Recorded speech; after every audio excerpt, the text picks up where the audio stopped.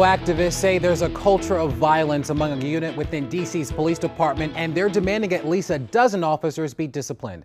Good afternoon, I'm Larry Miller. Bruce Leshan was at this morning's news conference, and he joins us live to explain why. Hey, Bruce.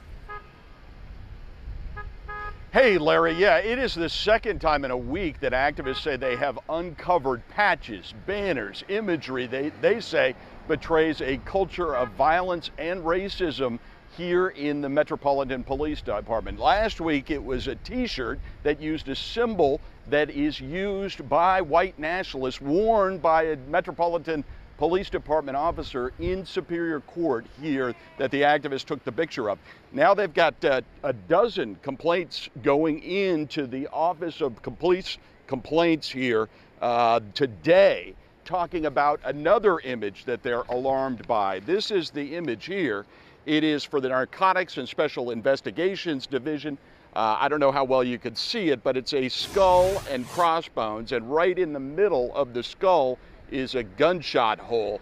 And there are two guns here, handcuffs, and down here it says vest up, one in the chamber. Uh, the activists say this revels in the kind of violence that the police officers should not be reveling in. But take a look also at this image uh, of this T-shirt that was out last week.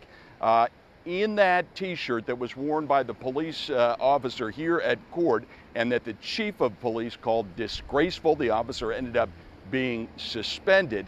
There is are the words power shift, and inside the O in the words power shift, there is a cross. You probably can't see it very well, but it is an archaic cross that is used often these days by white nationalists. And that is what has the, uh, one of the things that has the activists so alarmed.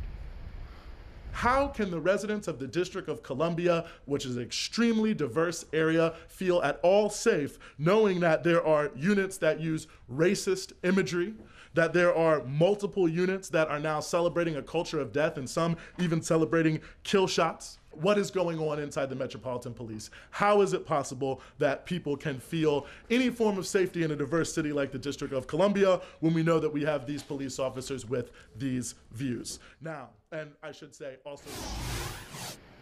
Now, the officer who was uh, wearing that t shirt that potentially had the white nationalist symbolism, he has been suspended at this point, but we're still waiting for reaction from the police department and from the police union on this latest image. The mayor's office said that she feels this way, just as she did uh, last week in talking about the Terrence Sterling case.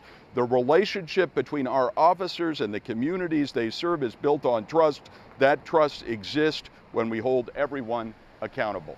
We'll have more coming up. At uh, Metropolitan Police Department headquarters, Bruce Leshan, WUSA 9.